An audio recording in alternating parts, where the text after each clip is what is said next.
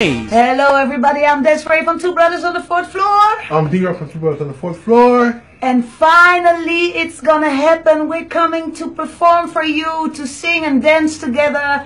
We're coming to Peru. January the 30th in Lima, Peru. We're gonna perform for you. And bring you back to the 90s. Yes! Woohoo!